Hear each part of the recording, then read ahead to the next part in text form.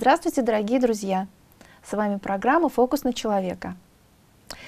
Вспомните себя ребенком, как мы хотели стать взрослыми, как мы много в этом видели того, чего не могли получить с детства. Но пришла взрослость, то есть мы как бы стали взрослыми. И куда девалось наше желание быть этими взрослыми? Почему нам хочется капризничать, топать ногами и позволять себе все, что могут позволять себе дети?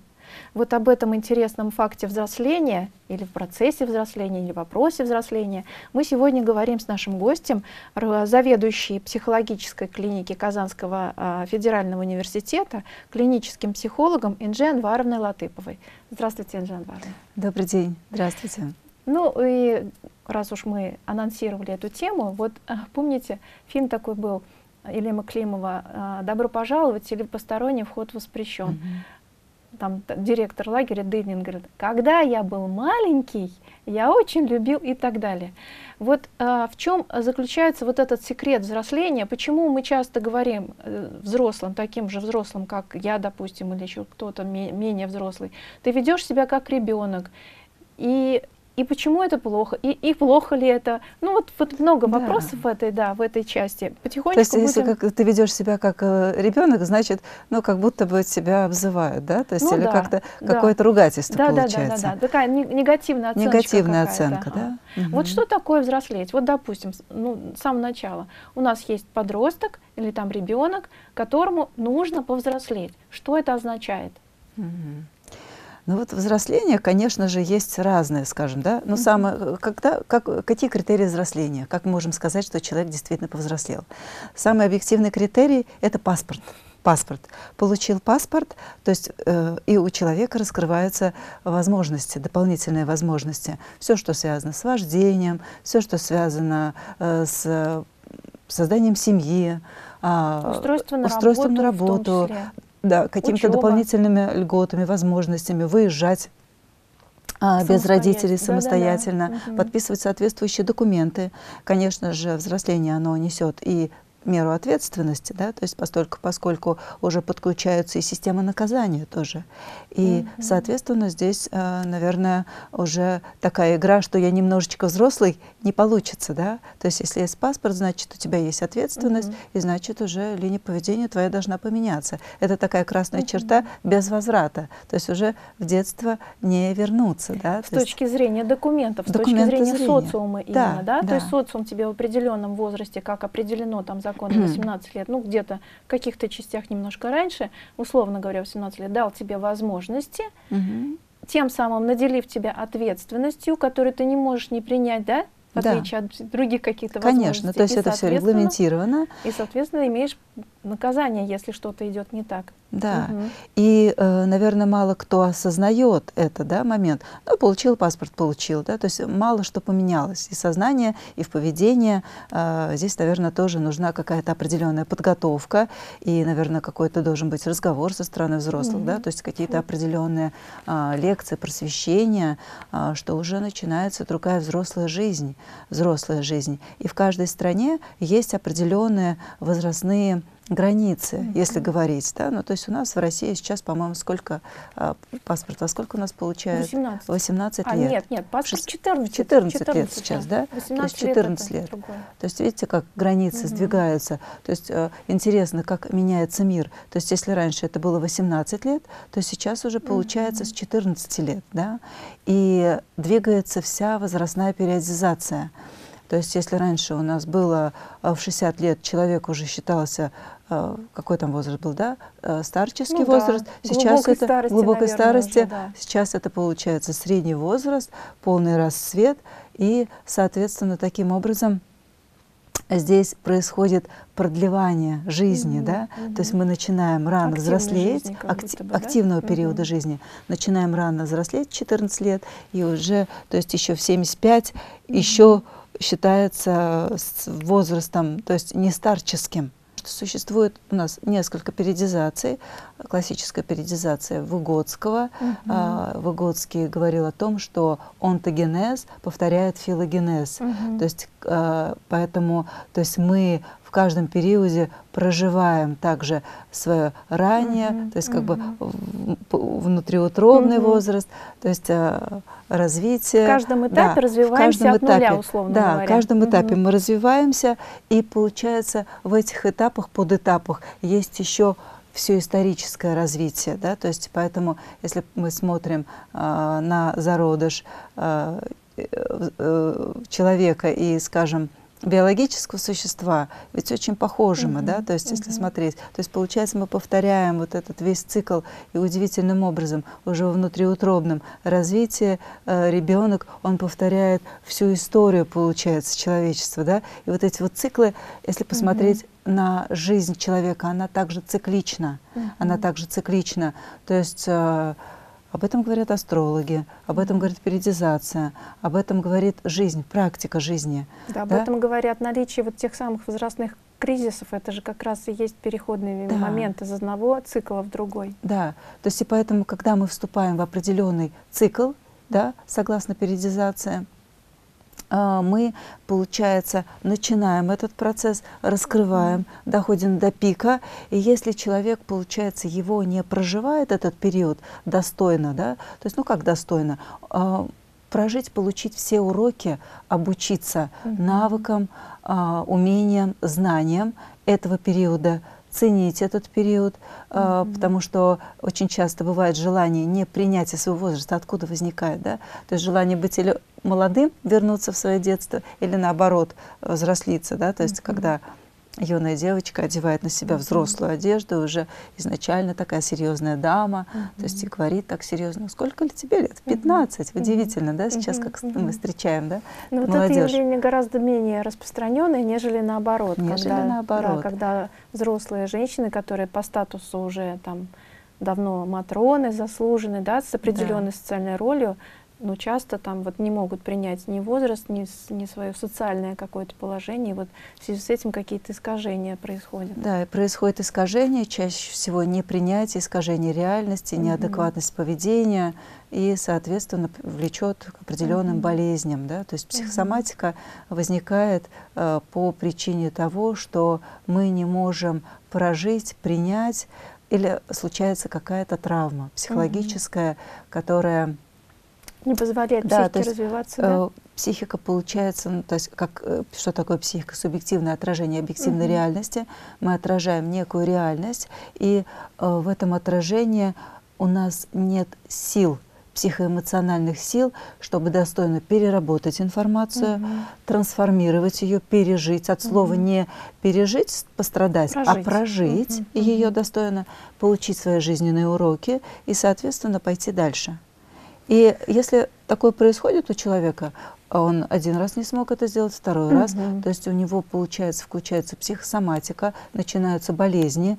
И очень часто мы ведь знаем, что голова болит не потому, что э, давление высокое, а давление высокое, потому, потому что, что идут другие причинно-следственные связи. Какие-то внутренние процессы, которые можно выявить только если человек начинает заниматься этой сферой своей жизни. Да, занимается mm-hmm. самоисследованием, а, задает себе вопросы, mm-hmm. ходит э, к врачам и не получает ответов, конечно же, тогда приходит к нам, к психологам, mm-hmm. и мы даем эти ответы, мы поясняем, работаем. И человек, как неверующий Фома, mm-hmm. который не верит в психологию, э, сталкивается с психологией, в прямом смысле слова сталкивается, сталкивается потому да, что да, уже нет путей, других путей нет, только путь к самому себе. Mm-hmm. Есть mm-hmm. ты, и ты эту задачу должен решить. Никто за тебя ее не решит, ни твой муж, ни жена, ни дети, ни наставник, ни учителя, никто. Ты пришел mm-hmm. в этот мир решить эту задачу, ты ее должен решить, получить опыт. И если ты проживаешь это, ты психологически становишься взрослым. Mm-hmm. А ты идешь mm-hmm. на следующий этап. А если ты не прошел, никуда не попадаешь. Вы прям Тебе дверь закрыта. Хорошо коснулись экзистенциального одиночества, да, прям четко так человеку сказали. Да. Никого ни на кого не рассчитывать. Но ведь а, по, по, по большому счету, вот есть два момента, на которые я хотела бы обратить внимание. Первое, вот вы а, немножко ранее проговорили о том, что наступает определенный период, и а, не все понимают, что вот он наступил, этот период угу. взросления, и да. надо начинать. И, наверное, вот в других более ранних исторических моментах существовали какие-то инициаторские практики, Конечно. которые вот тем, что они есть, эти практики, и тем, что ребенок или подросток уже, да, молодой человек, девушка, в них участвовали, для них и было неким таким вот такой жирной галочкой, что я, что я уже в каком-то смысле слова что-то сделал для того, чтобы здесь взрослые меня приняли в результате вот этих вот ритуальных действий, меня приняли во взрослое общество. Сейчас этого практически да. нет. Раньше это было, даже не так давно, это была армия, вот в ближайшем прошлом. Сейчас в армию попадают, ну, половина, наверное, да, остальные по здоровью просто не проходят да. или какие-то альтернативы находят. А с женской стороны вообще ничего нет. Да, психологически. Ну, вот да, психике ничего. нужны какие-то другие языки, да. Угу. Психика воспринимает, да, образы, эмоции, ритуалы, традиции. Недостаточно говорить только словами. Нужно обустроить ситуацию проживания и переживания. И таким образом мы говорим о том, что ритуал или инициация, процесс инициации – это ситуация, ситуативное обучение, mm-hmm. как вот да, у нас mm-hmm. есть в классической психологии, в педпсихологии mm-hmm. ситуативное обучение, когда человек попадает в эту ситуацию, и он получает тот опыт, который ему необходим. Его сопровождают в этом, и уже после этого можно поговорить. Здесь даже слов не нужно, потому что человек реально это проживает. Угу. Первая инициация. То есть получается, конечно же, когда идет перед пубертатным возрастом, угу. то есть взросление, меняется психофизиология, угу. как вы уже говорили, мальчики переходят в мир мужчины, угу. то есть становятся воинами, а девушки, получается, со сменой психофизиологии включаются в женский мир. В женский мир, в да, женский буквально мир. включаются с помощью, опять-таки, физиологии. Психофизиологии, угу. да. И здесь, конечно же, хорошо, если в этот момент будут старшие мамы, старшие сестры, которые объясняют, которые рассказывают и э, своим примером показывают девочкам, что, как, э, какова женская сущность, каковы женские, скажем, ну вот эти вот, скажем, предназначения женское, потому что это некое, нечто другое, mm-hmm. то, чему не обучают в социуме, да, mm-hmm. то есть это какая-то такая внутренняя школа получается, mm-hmm. школа семьи, система, школа семьи, да. да, то есть хорошо, если это будет школа семьи, mm-hmm. а если нет этого в семье, mm-hmm. то тогда, конечно же, вопрос, где это искать, и, наверное, тогда э, наши коллеги-психологи работают над этим mm-hmm. вопросом и mm-hmm. создают специальные ситуации обучения, женские программы, женские женские угу. тренинги, а, различные ситуации инициации, чтобы уже женщина во взрослом состоянии получила этот опыт, прожила и повзрослела. То есть получается, как будто бы в этих ситуациях инициациях для взросления нужно какое-то разрешение. Угу. Разрешение. И когда тебе маленькой девочке говорят, да, уже можно, можно, ты можешь, ты сможешь, делай. Угу. То есть и тогда девочка она становится взрослой угу. девушкой, идет в этот путь. То есть вот эта, эта инициация как некое разрешение. А, правильно ли я вас понимаю, что а, вы рекомендуете женщинам, у которых есть некое представление, что что-то с моей, жен, с моей женской частью идет не так, посещение вот таких вот женских кругов, женских тренингов, именно женского, ну, вот такого плана? Да, конечно. Угу. То есть если это рассматривать с точки зрения психологического взросления, а, тренинг — он а, прежде всего направлен на задачу взросления, mm-hmm. психологического взросления. А, то есть а, он носит диагностический характер. Mm-hmm. То есть первый этап обязательно это всегда диагностика, групповая диагностика, индивидуальная диагностика, потому что есть и э, возможность обратиться и в индивидуальном порядке, то есть задание для группы и индивидуально. Соответственно, Каждый для себя определяет с помощью ведущего а, вот этот вот задачу на конкретный тренинг. Эта задача чаще всего бывает связана с какими-то противоречиями, с отсутствием знаний. И, конечно, человек становится психологически сильнее. То есть он проживает этот момент, он проживает непрожитое, предположим, mm-hmm. и возвращает себе психическую энергию. А, наступают моменты осознаваний. Mm-hmm. Осознание — это тоже про взрослость. А, а у вас в клинике есть такие женские круги? Вот же такие женские группы собираете? Но поскольку, поскольку запроса не было, если будет запрос, конечно же, мы же по запросу работаем. Да? То есть если будет запрос, мы всегда отзываемся и реагируем на тему. А, очень актуальна тема отношений, тема самооценки в основном, но она тоже бывает связана, конечно, с психической взрослостью. А правильно ли я понимаю, что э, такой диагноз, как бесплодие неясного генеза, тоже может иметь отношение к незрелой психике женщины, которая, ну, с точки зрения психики, не способна оплодотворить, оплодотвориться и стать будущей мамой? Конечно. То есть женщина женщине нужна определенная психологическая готовность для того, чтобы, во-первых, выносить малыша и встретить его в этом мире.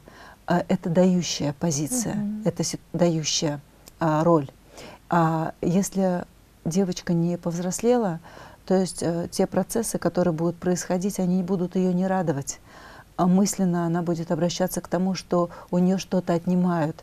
То есть уходит ее молодость, уходит ее время, она не сделала карьеру, то есть ребенок ей мешает. Да? И, конечно же, то есть, э, воспринимается как бремя, как обуза. И эм, любые стрессы, которые девушка молодая, женщина молодая проживает в этом состоянии, mm-hmm конечно, они будут не способствовать завершению беременности. Угу. То есть всячески будут, э, ну, то есть завершаться. Угу, угу. То ну, есть трагическим уже, образом. Да, трагическим длинным, образом. Да. И вот сейчас вы сказали важную фразу, что когда я маленькая, я всегда привыкла к тому, что мне дают. А когда я становлюсь взрослая, то я сама начинаю давать. То есть не только брать, но еще и давать. Вот это ключевой момент. Ребенок, он всегда дающий. Да, если мы говорим про психологически угу. взрослого человека и психологически невзрослого, да, то есть получается, ребенок это берущий, да, ребенок, он говорит, дай, я угу. хочу. И он, а, его желание должно исполниться сиюминутно. Он не готов ждать.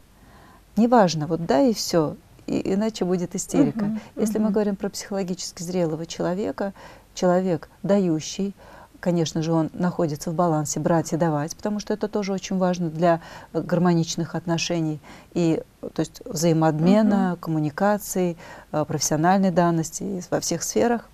Баланс брать и давать очень важен. И, соответственно, получается, что в этой ситуации взрослый ставит цель, э, он может ждать он может ждать, выстраивать намерения, выстраивать свою цель, преодолевать трудности, а, концентрироваться, выносить нагрузки психологические, которые приведут его к цели.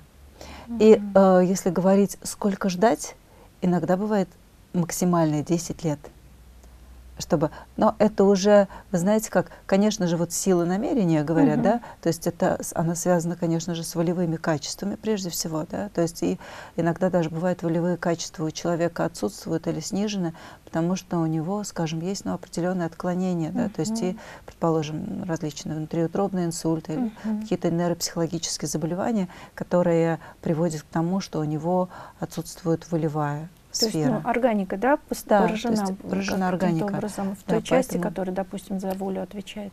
Ага. Да, то есть и э, в этом ключе здесь есть моменты, которые поддаются психокоррекции, а есть угу. ситуации, когда бесполезно, да, то есть нет э, возможностей э, что-то, что исправить поменять. радикально. Ну вот в обществе сейчас очень модное слово толерантность, которого уже ну, разные реакции вызывает. Да.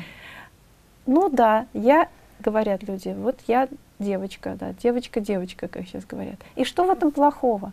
То есть, э, если я правильно поняла, что минусы все-таки в том, что не, не развивается физика, ой, психика не развивается, и, соответственно, раз у нее по природе заложен все-таки развитие, да, то получается неминуемо заболевания какие-то, да? Так ведь получается или нет? А, ну да, получается, видите как, то есть э, физическое тело растет, предположим, а психическое тело не растет. Тело это же тоже, оно имеет свое тело, да, ну как вот образно говоря, да, психическое uh-huh. тело мы говорим, uh-huh. да, вот. То есть эм, и получается, что нагрузки с возрастом увеличиваются. Uh-huh. Физически человек может выдержать дистанцию, пройти пешком 5 километров, uh-huh. 10 километров, а психически, психологически, если не будет он взрослеть, то есть э, он не сможет э, переработать тот объем задач, целей и нагрузки, которые нужно в соответствии с возрастом. Угу. И э, мы, получается, сталкиваемся с такой ситуацией, э, когда, предположим, ну вот у меня был да, случай, угу. женщина, да, там ей 50 лет, получается, она руководитель да, завода, а на уровне психики ей 3 года. То есть уровень задач, уровень мышления, то есть уровень скажем, восприятие ее реакции, способ реагирования, обидеться, предположим, на ситуацию, а, отсутствие коммуникации, диалога, а, при всей организованности отсутствие самоорганизации и э, хорошим диагностическим моментом психологической зрелости является ситуация стресса. Вот когда случается стресс, угу. получается человек максимально искренен, то есть ему нужно действовать. И насколько он может собраться, насколько он может принимать э, решения, а, насколько он может реагировать, соответствовать вызовам. То есть он в этот момент как бы немножко деградирует ну, деградирует угу. в том плане, что он э, спускается к своему Своё настоящему, настоящее состояние, настоящее состояние. Свой настоящий психический возраст. Возраст, да. Угу. Там, где он может решать задачи. Угу. Вот нужно посмотреть, насколько в этом состоянии, в какое, во-первых, это состояние, угу. да, то есть какому возрасту оно соответствует. И, соответственно, здесь уже вот э, для нас это такой диагностический срез. Угу.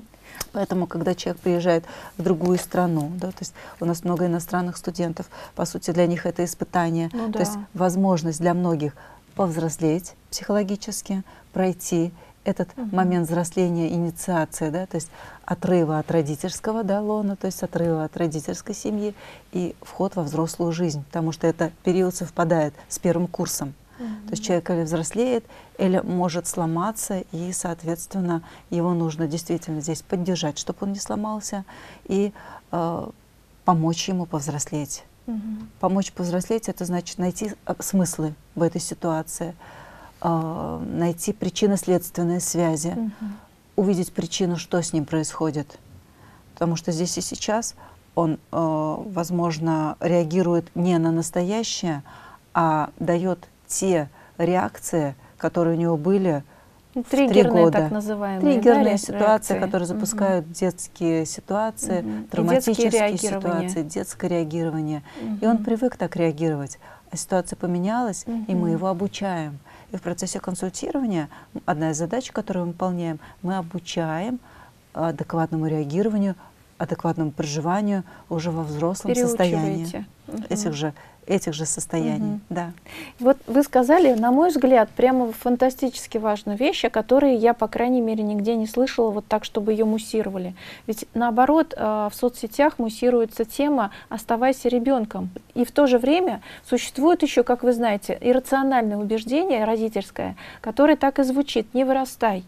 И вот этих вот э, убеждений у нас очень много, и они как раз вот к триггерным, глубоким, гипно, гип, гипнабельным относятся, да, потому что на очень ранних стадиях э, произошли и любящими родителями, да, и вот эта вот иррациональность э, убеждения, она присутствует, наверное, как проявляться, да, помогает. И mm-hmm. вот то, что вы сам издалека э, захожу, но чтобы понятно было почему вот это вот то, что вы связали, что, пожалуйста, можешь не взрослеть, это твой выбор, но то должен понимать, что если а, физика будет развиваться, а психика будет отставать, неминуемы дополнительные болячки, дополнительные болезни, именно уже на физическом уровне та самая психосоматика будет проявляться гораздо раньше, и она же будет тормозить и сокращать жизнь. Вот вы сейчас очень соединили это все в одну, и, ну, мне кажется, это стало доступнее для понимания, ну, да. что вот, вот она прямая И еще есть выгода в этом. Связь. В этом выгода, да, какая есть выгода. Какая? Нужно же понять человека, почему это выгодно, конечно, да? у любого То есть, человека есть. Конечно же, не болеть, потому что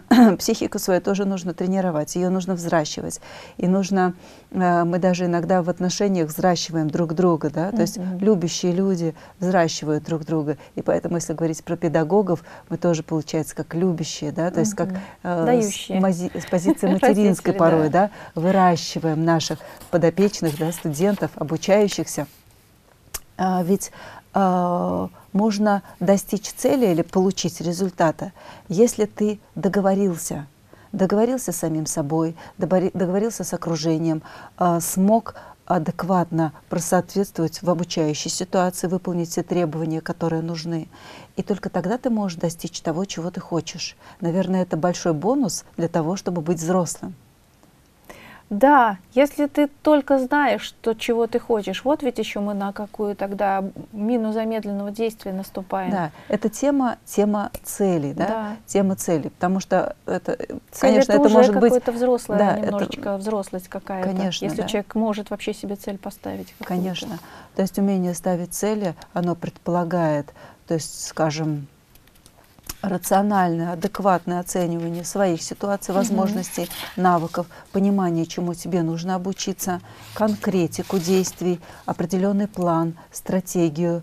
Э, и для того, чтобы это выстроить, конечно, здесь нужно быть психически э, зрелым человеком. Mm-hmm. Вот. И э, само, скажем, целевое, скажем, такое обучение – то есть целевое обучение не в общепринятом да, смысле, угу. потому что целевое обучение, оно есть еще немножко социальный контекст, угу. да, да, когда да. есть э, направление целевого, а именно я имею в виду психологическое. Да? Угу. Цель у тебя есть, ты идешь, и ты в процессе этого тоже можешь взрослеть.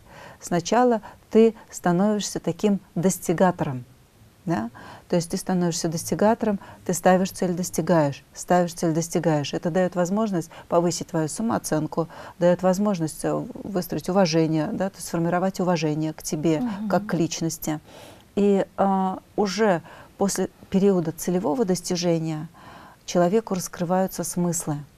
То есть эта цель, как вот в период осмысления, угу. то есть она получается следующий этап, он э, связан с осмыслением а, нахождением тех ценностей, которые даю, дала тебе эта цель.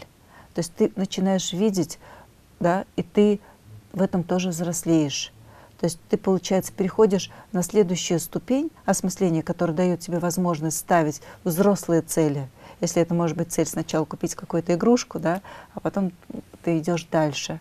Но если ты ломаешься и не достигаешь этой цели, Э, ну, понятно, что ребенок, он, во-первых, не может выдержать этого напряжения, которое нужно выдержать да, на пути к цели.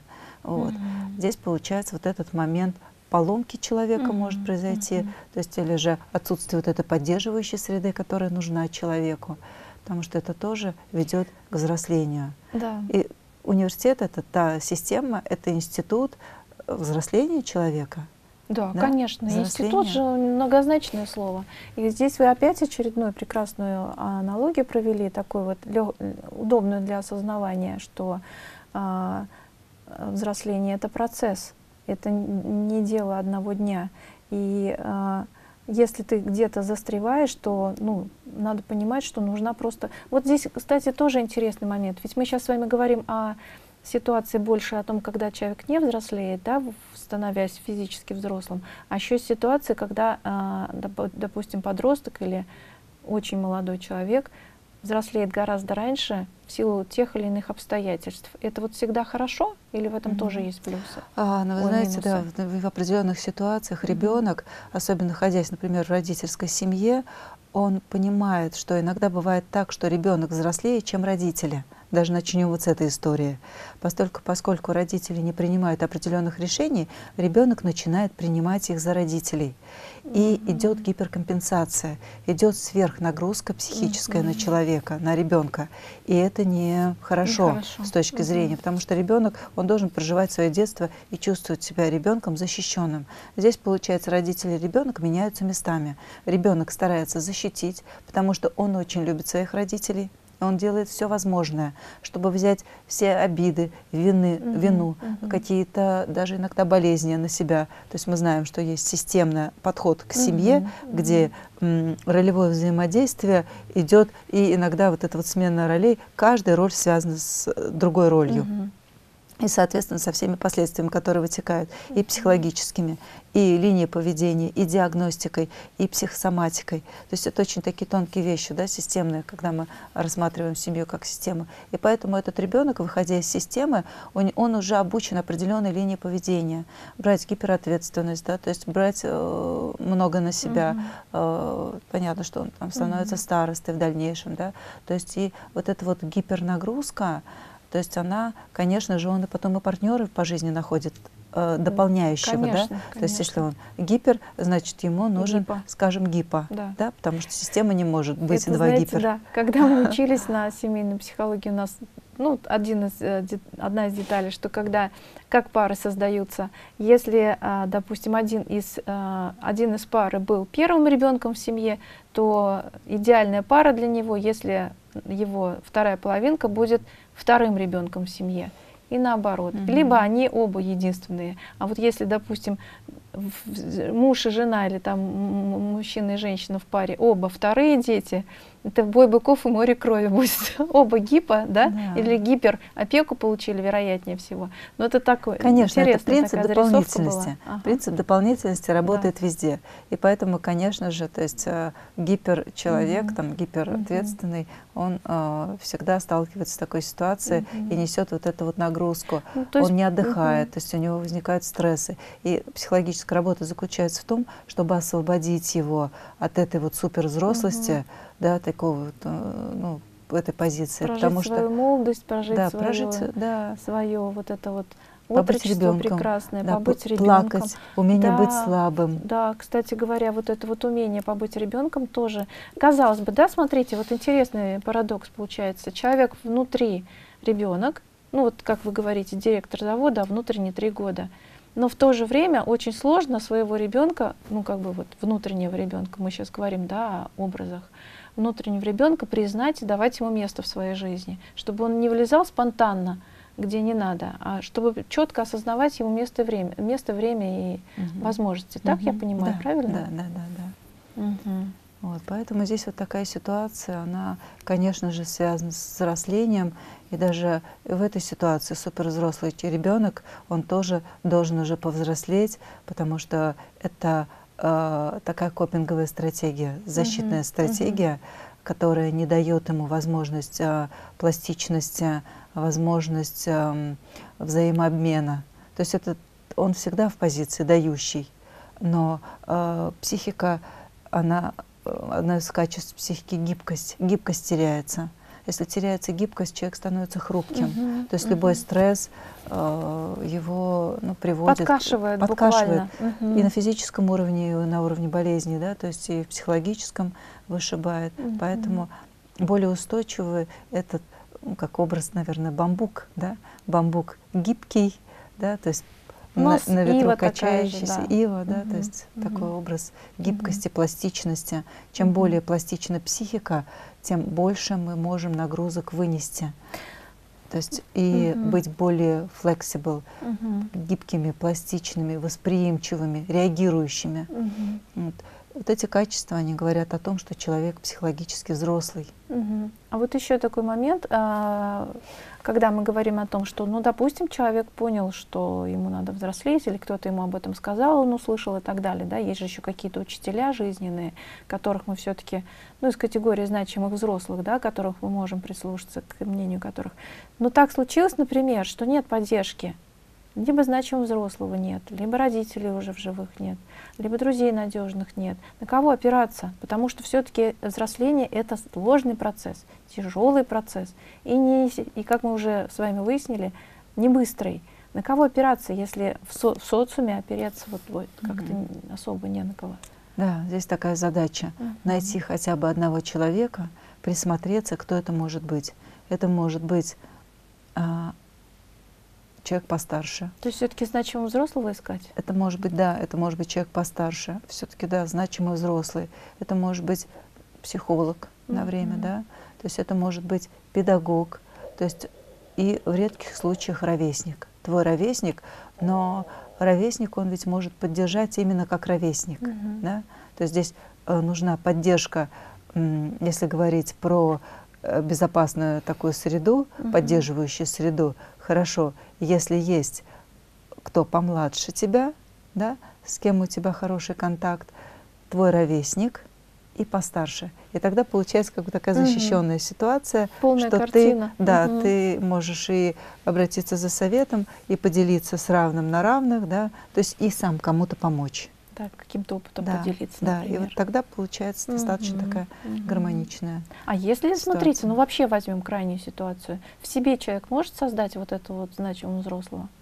В себе, внутри, внутри себя эту фигуру? А, если мы говорим о психологической помощи, да. а, Нет. всегда нужен кто-то, чтобы тебе помог. Все-таки да. коммуникации, что Да, да, да, обязательно, угу. обязательно. Нужен другой. Угу. Человеку нужен другой человек. Ну да, такая фраза на все времена.